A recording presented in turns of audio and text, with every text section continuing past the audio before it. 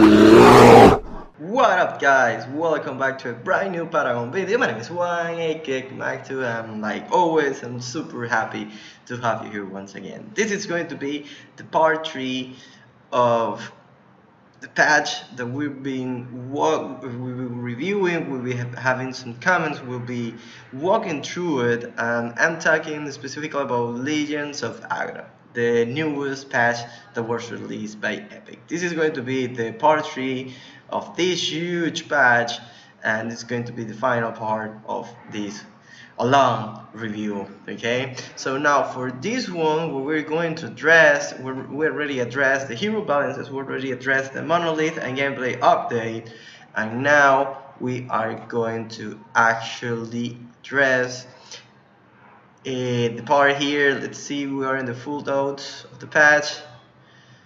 We're going to address uh, the card modifications okay the balances that they imp that they implement gems and the new UI incorporations of the game okay? So let's jump ahead into the card notes and cards all updates are based on level 1 card value but will affect cards of all levels. So starter decks starter decks have been updated and increased from 8 to 12 cards that's pretty good because it gives you at least more options for new players that don't actually have any cards uh, when they get into the game for the first time and they start like understanding how the game the, the, the card system works that really helped them a lot and I really think it's a great uh, change that Epic implement and it was really needed for newcomer uh, new players actually okay as a result, one copy of each of the following cards have been granted to all accounts. So finally, they realize they need to have a new uh, cards that have to be given to the players, okay, the new players, and it's really nice that they actually implement this into the game. Before this, you were struggling in the beginning with starter decks that they really don't help much, to be honest. I think they need to change the default decks that you can use when you are a new player, uh, most with the support deck. The support decks are so bad, really, they're really bad. So if any, in any case, if you play support and you're a new player, those decks are really bad, to be honest, okay? So this is really nice that they actually gave these cards to all players, new ones and, and all players, okay? This is really good. With these cards, they're gonna at least have uh, enough to, to, to deal with. And in, they won't be able to maybe do a deck, a full deck, but they will be able to actually test things and try new things are actually they gonna use these cards okay? So that's pretty good. Now we're going with the changes into the cards. So now we're in the death okay uh, affinity and finder of plaything one of, one of the best uh, cards in the game in my own opinion increases low magnitude to 30% reduce cooldown to 55 seconds that's pretty awesome finder plaything is going to be really good right now. Lightning Spectre increase the projectile speed to 700, that's pretty good. Reduce expected formation time from 2 seconds to 1.5 seconds. Increases execution threshold to 20%. Oh my god. Okay, this is a huge buff to this card. Lightning Inspector. Hmm, very nice. Namely scores increase ability damage dealt from 65 damage per second for 18 seconds to 80 damage per second for 14 seconds, okay? Plague to lower Malenk reduces low magnitude. They actually reduce the low magnitude to 10%. Possess striking, reduce health region They actually reduce the health region from 12.5 to 10 but still 10 health drain is really good it's really good I don't think by lowering this much is gonna be a huge impact on the game. And actually think it's really good card okay? Having 10% health regen is a lot. Does master no longer grant gold when executing your own minion? Okay. And now how actually works?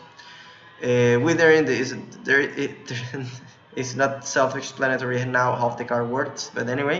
Withering shadow reduce damage per second to 45 now we go to the knowledge affinity accelerator. Reduce cost from 1500 gold to 1200 gold. Black ice routine increases slow magnitude to 50% oh my lord this is going to be awesome. This is going to be awesome. Cryo agent increased power to 18 slow magnitude was increased to 30% and the cooldown was reduced 2 seconds. Huge buff for cryo agent Icon soldier reduced fade duration to 1 second. Generator reduced cost from 1200 gold to 1000 gold. Mana flow acolyte one of my favorite cards from intellect most for Gideon. It's really awesome card for Gideon. Now this places stat count the status bar is really good. We, we, we really were needing that fix an issue where mana flow acolyte was included granted 1% per point instead of 0.5% okay that's good for balance OPD militia now the damage is 112 with this increase I want to test a deck for our boy Twin Blast, okay? We will make an AOP militia deck for him and we'll see how it, how it goes, okay? Rejuvenator, increase total health restore from uh, 112 to 160 that's really good. Increase total mana restore from 100 to 130 SSA's run reduce cooldown 25 seconds. Hmm. This remind me the old times when everybody was using Estasis Gem in in in their deck. Estasis Gem was one of the biggest cards used in the old Paragon. We'll see. The 25 seconds, we're talking about 20 seconds uh, reduce of 20 seconds, that's a lot. That's a lot. Tower Maturge, Empowering mana now correctly displays the power gain, that's pretty good. Now we go into the order affinity. Brilliant fortification reduce cost from 1000 gold 3 intellect to 500 gold 3 intellect. Interesting. Interesting. This change here reducing the cost for this card. Crippling Glare, fixing an issue where a status effect applied to enemy didn't indicate it was from Crippling Glare, okay? Domain of Stillness, reduce cooldown to 55, reduce mana cost to 75. Okay, we have a new card. Nice, we really need new cards, epic. Really, really, really, really, we really need it. Okay, so please start implementing new cards so we can actually have new decks because right now like everybody is just using the same decks over and over a form of rubbish grant one copy to all players, okay, cost 13 intellect, stats 15 power, 180 max health, 210 max mana, that's a lot of mana, and he has a new, uh, he has a skill, an active ability, Metamorphosis, morph target enemy hero into a bug for 3 seconds, oh my lord. Players cannot use their ability or attack with morph. Mana cost 150 second cooldown. Jesus, this is going to be a must-have card by a support. This is going to be a must-have card for supports. This is amazing. Also, you can use across all the players. If you have a team that everybody have this card you will be able to actually morph all players uh, this is crazy. It's crazy. This this card I think is really OP anyway let's keep going. Gates of Salvation. Now displays a cooldown a stagnant dominion increases slow magnitude from 12% to 30%, increased duration from 1 second to 1.5 seconds. Lieutenant Belica's Voidron Mana Drain no longer applies Stagnant Dominion Slow, okay? Egan's Curse Burning Sensation Passive no longer applies Stagnant Dominion Slow. Yomi Guardian, increased damage block to 100, that's a lot. Reduce cooldown to 55 seconds. Yomi Guardian, my god it's going to be excellent Joke Expector reduce duration to 6 seconds okay now we go for, to the growth uh, affinity Apex Predator adjust cost from 2 vitality 5 int to 7 int okay? Increase power from 10 to 13 now grants 18 ability defense no longer grants at, uh, grants attack speed release was 14 reduce max stats count from 40 to 30 reduce ability defense bonus when at max stacks from 24 to 18 reduce cooldown to 3 seconds. We will have to test it out if Apex Predators is still viable in the game after this nerf, okay? Chanting Shaman increased mana regen from Alice to 75%. Exoskeleton was reworked. They removed no longer reduced mana taken from enemy hero by 6. Instead, they, it actually grants uh, regenerate 30 health over 3 seconds after taking damage during 6 seconds cooldown. That's pretty good. Exoskeleton is gonna be a must-have in the in the new dual lane. This is going to be really good in order to have these changes. When since you are going to have uh, you're gonna be in the dual lane, you will have to exchange damage with the other duo, okay, the enemy duo. So this card really helps you a lot with sustain and to overcome the damage that you will receive in every exchange that you have with the enemy duo. So that's pretty, that's a really nice uh, rework there. Malek Nasher increased damage per stack from a 4 4% to 5%. That's pretty nice. I used this card with Gideon and it's awesome. The damage output with that card is unbelievably strong. Spiking that just come from 2 in 4 in to 1 in uh, to 1 uh, 2 vite 4 in sorry about that to 1 vite 5 in. Thundercleave increased damage from 100% basic damage to 125 basic damage reduce cooldown to 14 seconds. This is pretty good. This is going to be pretty nice. 14 seconds is a lot uh, Trapper increases low magnitude to 5% per stack, max stacks 10 stacks, and increase root duration to 1.5 seconds. This is pretty nice. I use Trapper in one of my decks with Twin Blast. It's amazing. It's really amazing what you can do with Trapper, uh, with with Twin Blast, because you have the two shots and Trapper count those two shots has two stacks. So that's really amazing what you can do. So instead of landing 10 hits, you only need to line, uh, you only need to land five shots with Twin Blast. Let's say in that way. If you point in the right direction and you land the two shot, it's going to be really fast to get to the uh, stacks, to the 10 stack and land the root. So Trapper with Twin Blast, really awesome card in my own opinion. Increases uh, vengeful, uh, vengeful mire, increases low magnitude from 15 to 30 percent. Whoa! And reduces slow duration to 2.5 seconds. Now we go to the chaos uh, and the last affinity amplification engineer reduce cost from 4 uh, agility 9 intellect to 2 agility 10 intellect they increase they, they didn't well they reduce the agility but they increase the intellect. Okay? Amplification engineer. Reduce power from 24 to 20 reduce max mana to 180 increase damage to 12% current health that's a lot. Increase radius uh, radius to 1300 longer this damage to minion will only damage enemy hero. That clutter abilities which are considered a basic attack cannot treat no longer place the death glory passes on cooldown. That's, that's pretty good. Living guardian reduce duration to 3 seconds. Okay. Riot sapper increase percentage current mana drained to 40% oh my god that's a lot. Oh my god. That's a lot.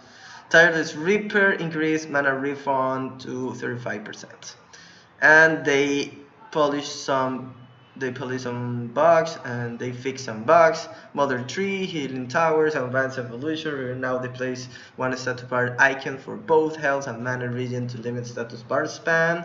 Improve tooltip clarity certain cards, update status, and so forth. Okay. Uh, in my review, I agree with all the cards balances and how they actually reward exoskeleton to be able to be used in the dual lane but I gotta be honest this new car form of rubbish I think it's going to be I don't know I think it's too much. 3 seconds in a MOBA is long time and if you take into consideration that everybody has it for example if you have a team that actually everybody has form of rubbish and you actually manage to coordinate with all your all your team to morph the enemy's player you're gonna be killing it. Because you don't need to morph and to actually focus on the target that you want okay? I don't know. We'll see how it plays but damn that card is I think is too OP gems all Paragon players existing on future are now granted which one gem in their inventory mana reactor increase damage taken per one mana restore to 7 reflections purify increase damage taken threshold cleans to 400 and they polish and boot fix. With the UI let's jump ahead. The, the biggest change incorporated with the UI is in the draft we already saw it in the first video in the first part of the video and let's see what other UI modification this patch is bringing into the table. Cards cards on the HUD now show the number of effects stock occur plus number of users remaining. That's pretty good. Health bars, fixable graphical errors with overhead health bars for heroes and minions that result in neo glow. Yeah. Further turn the overhead health bar colors for all unit types Health bars now have consistent colors across different bars. Pip markets are now at 250 health across all health bars. A new bar position, top of the screen, bottom and corner. You can choose in the, between the three of them. Player status frame, normal and advanced. Normal similar to what we previously had with XP, gold, etc. Advanced adds attributes, basic attack damage, attacks per second, so forth. Positions positions have been updated to carry support mid jungle and solo. Players are now required to select. Remember, uh, let me go a little bit back forward. Uh, back. Uh, let me go back a little bit. Sorry. Uh, positions have been updated to carry support mid uh, jungle and solo, which means now we have the dual lane and the solo lane. Okay, basically that's what this is about. Players are now required to select a position prior to selecting a hero in the draft players might choose conflicting positions, but a warning will show. You are now only show the loading screen tips for you select position. Players now spawn in the position closest to the, your position lane. That's pretty good. It was really annoying when you were like the offlaner and you always were spamming in the right in the in the right of the of the of actually of the spawn positioned in the base it was really annoying okay? It takes you a little bit more in order to get into the in your lane. Lane guides guide player to their selected lane these are automatically disabled at 5 minutes. These can be permanently disabled in the setting menu good. Mastery onboarding dialog updated to reflect these changes okay? Ability upgrade panel cooldown is now displayed. Current ability level is now displayed added a call to action to upgrade block. Awesome. UA scale now allows you to decrease or increase the size of the HUD and indicator. That's pretty good. That's really good. Um, drafts have been visually redesigned to support picking your position, prefer choosing your hero, cooldown, and out of mana alert now have a filling graphic showing time remaining until the ability is available added new jungle indicators that show that positions and status of all jungle camps while in that section of the jungle. Okay, that's pretty good. Updated the animation, sound and color of the killer layer frame to be more noticeable and last longer. Hmm. Flipping the source and effect text in the buff entry so that the source is the primary bit of information, updated animation sound of team counts to make them more noticeable. Team counts, okay? Reduce the audio effect when taking critical damage and increase the mix of enemy sound effects when critical wounded. Nice. And some polish and bug fixes. In the general in the general section, they just change the story content and the loot crate content, and this is much it. Okay. Uh, with the general changes, the UI, the UI changes, the gems, and the car, I'm pretty happy. I think they are going in the right direction, but I feel what they need to do stop making big changes start delivering more content into the game. And what I mean about content they need to add more cards and more gens. We need more diversity in the decks okay? That's my how I feel okay? I understand that now they're trying to drive the game into another type of MOBA with I don't know more focus on hero versus hero combat with some MOBA mechanics and that's okay but I think now really Epic need to get their let's say shit together okay? And stop making these huge patches that just delay the final version of the game okay? And that's uh, that's what I think. They need to actually move forward into delivering the game into adding more content into the game. It will be nice maybe to see more maps. It will be nice uh, to see more uh, modes okay? More game modes. It it will be really nice to see a lot of cards being implemented new cards to be implemented new gems that actually give you more diversity into the game okay? So well guys in my own opinion what really worries me is how the game is being driven a little by little by Epic into a more focused game of hero versus hero combat rather than that MOBA mechanics okay? I've been saying this in my all previous videos but this is how I feel. All these changes how they're actually increasing the damage and decreasing the defense just give the sensation that they want to shorter the combat but they want us to actually fight faster. They want us to fight uh, really in the early game more often and they're focusing this game more in that aspect okay? More combat uh, and I don't know. I don't feel that's what MOBA makes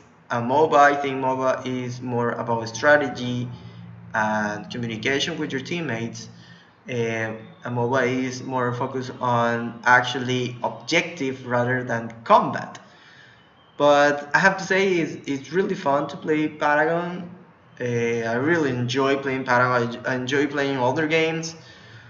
But I don't know how this will affect in the long term, okay? I hope that they are more MOBA features to actually enhance that MOBA features in the game rather than the combat aspect of the game. But anyway, guys, if you like the video, remember to subscribe. Don't forget to give me a like, and I'll see you next time. Peace.